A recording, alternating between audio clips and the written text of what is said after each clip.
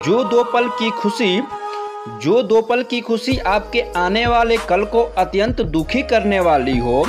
जो दो पल की खुशी आपके आने वाले कल को अत्यंत दुखी करने वाली हो, उसे आज ही जहर की तरह त्याग देना ही उचित है।